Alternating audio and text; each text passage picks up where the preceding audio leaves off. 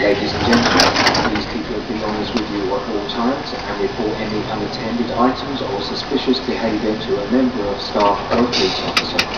For your safety and security, CCTV is in use